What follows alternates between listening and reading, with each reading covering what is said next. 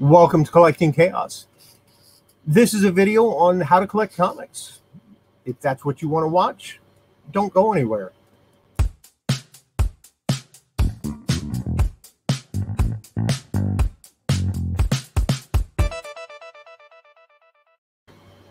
Now, people that buy comics basically fall into one or two categories. This is real basic stuff. They're either investors or they're collectors. Investors are exactly what it sounds like. They purchase comics with the goal to make money. And it doesn't matter if they're buying them for a quick flip, you know, make a fast buck and get out, or if they're buying them to keep for a couple of years and then try to sell them. Your goal is the same. They want to make money. And they're more concerned with condition than they are in the content of the books. They could care less about what's inside the book as long as it's going to sell. Hmm. So condition is everything for them because a 9.8 or above will sell a whole lot better than a 5 will.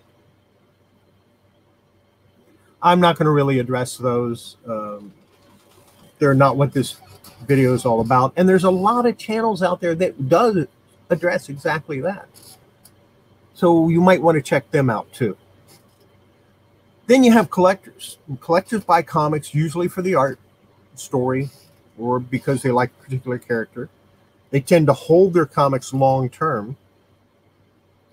Now, they'll occasionally sell one or two or maybe trade some to get something else they want. Something they desire that, you know, and condition is important to them, but they'll take a low grade copy if it'll fill a spot in a run. They're less concerned with making money, and they tend to have large collections. Now, it's imp- it's possible to be both a collector and an investor at the same time. A pure collector, someone that just collects and never sells anything, they're kind of rare when it comes to comic books. But how do you start collecting? Hmm. Who can you get comics from? Why would you want to in the first place?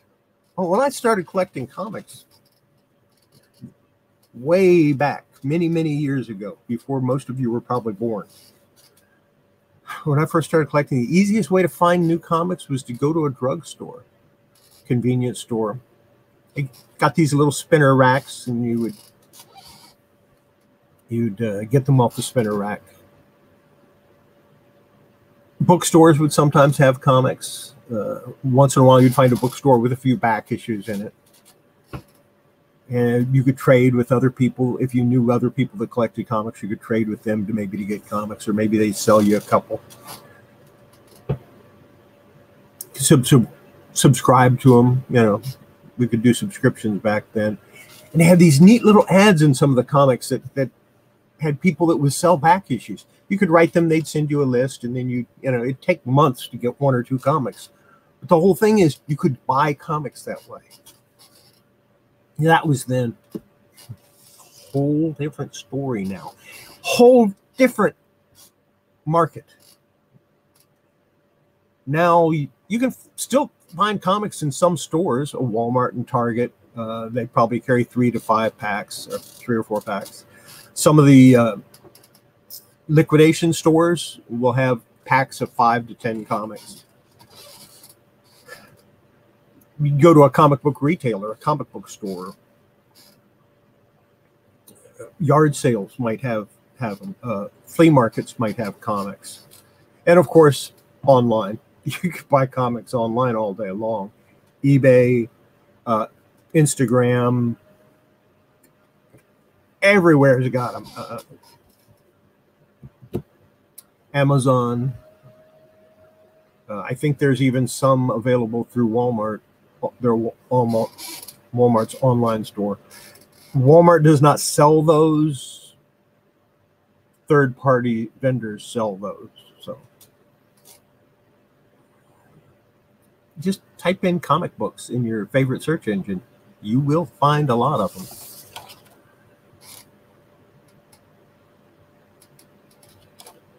So that's uh, that's a good way to do that.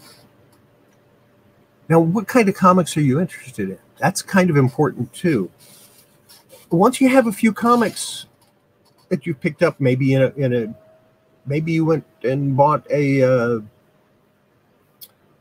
a random assortment of comics from an online retailer. Maybe eBay. You bought a uh, a mystery box. You know, you got a bunch of comic books.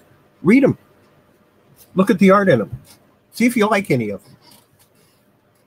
If you find one you like, okay, that might be one you want to collect. You might want to collect that title. Maybe you just want to collect that character. Um, maybe the art just blew you away and you want to collect that artist. All of that's good. All of that's a way to do it. But make sure whatever you're collecting is something you like because otherwise it's not very satisfying. Now, you might have seen a TV show like Star Trek or Babylon 5. Both of those have had comics uh, published with them. Star Trek has had a lot of comics published. Uh, Gold Key published Star Trek. DC published Star Trek. Marvel published Star Trek. Yeah, there's a lots of them out there. Uh, if you like westerns, uh, there were a lot of western comics published in the past. You like mystery, horror, superheroes, whatever you like, romance, whatever you like, there is a genre out there. There is a, some comics devoted to it. Maybe you just want to collect a certain publisher. Maybe you're a Marvelite and that's all you want to collect is Marvel. Maybe all you collect is Image. Maybe all you want is DC comics, the Superman, the Batman, the Wonder Woman. That's all good. And some people just like the covers. They see a cover they like, that goes in their collection. They don't care one way or the other about the characters or the story or anything. It's all about the cover. That's fine. That's a good way to collect too. Some people follow one or more artists. Uh, Bernie Wrightson, Neal Adams, Todd McFarlane, Jim Lee, Jack Kirby. Those are just a few of the names, big names in comics. There's no right or wrong way to collect. There's no right or wrong thing to collect when it comes to comics. It's all up to you. Now, where are you going to keep your comics? Now, ideal storage for a comic is in a cool, dark place. Where you usually find cool, dark places? The closets. The places you don't want to have your comics is in the attic. Attics have a wild, wild fluctuations in temperature. Very hot, very cold. It'll destroy the paper pretty quick. In addition, most houses, if they end up with with rodents or other types of vermin, they're going to be in the attic for sure, and they will definitely destroy the paper. Basements. Basements are cool. Basements can be dark. Basements tend to be damp. If it's damp, you're going to get moisture. If you get moisture, you're going to get mildew. You get mildew, your comics are going to get ruined. Basements aren't a good place to store them. Closet, cabinet, those are good. You know, there are people that have entire rooms devoted to their collections, entire rooms full of comic books. Can you imagine that? Well, I can. I have one.